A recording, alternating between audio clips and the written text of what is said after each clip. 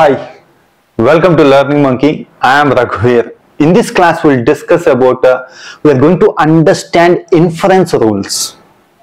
We'll understand one of them. We, in our next class, we are going to discuss list of inference rules.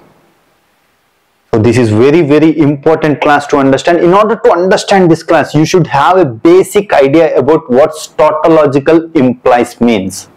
We discussed that in our last class. Please watch that class and come back here. The link for the playlist is provided in the description below. Coming to today's class, uh, let's try to understand with an example. Let's say that uh, take two statements. S1 is a statement. What its statement says is, uh, if it is snowing, then they will not play match. This is one statement they have provided. And they have provided second statement, it is snowing.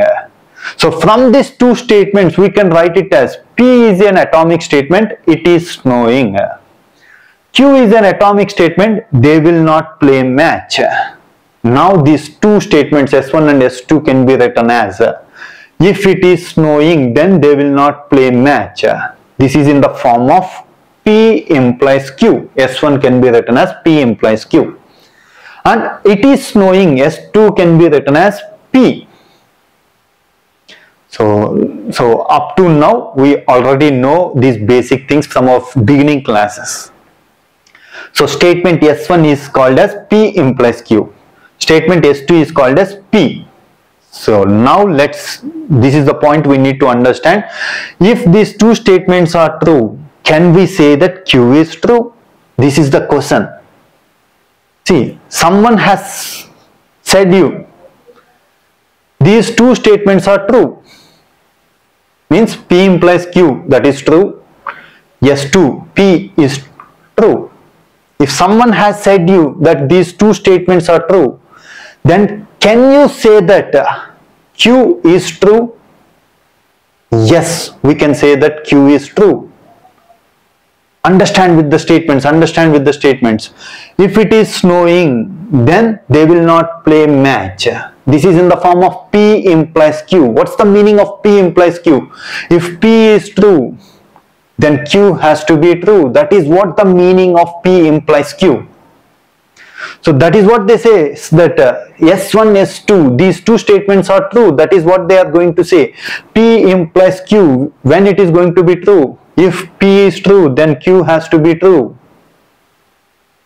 And what they are saying that S2 is a statement P and they are saying that P is true means P happened. It is snowing. If from these two statements, what we are going to understand? It is snowing from the second statement.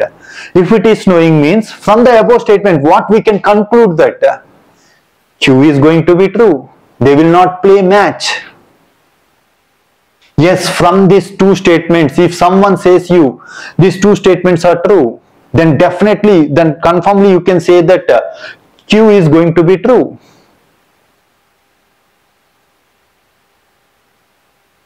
So this is the point you need to understand. So the other way we are going to understand the inference rules means uh, this is this is what one of the inference rule is. If P implies Q, P implies Q. If someone says that P implies Q is true and they said that uh, P is true, then you can definitely say that Q is going to be true. Because from these two statements we can conclude that uh, Q is true. The other way we are going to understand these inference rules, uh, in our last class we clearly discussed that uh, tautological implication. See, someone had said you that uh, these two statements are true. This can be written as, this can be written as P conjunction P implies Q. Then this entire statement is going to be true because someone had said that these two are true. Conjunction when it is going to be true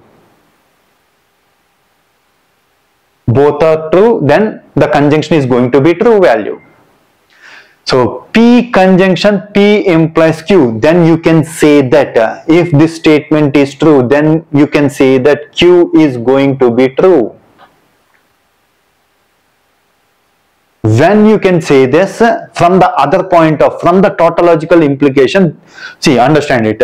This is one proposition implies this is second proposition if first proposition implies second proposition is tautologically implied.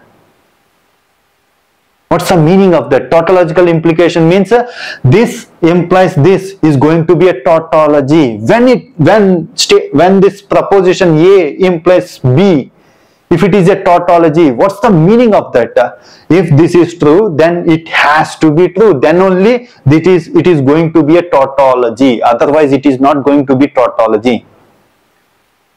In our last class we clearly discussed this when it is going to be tautology.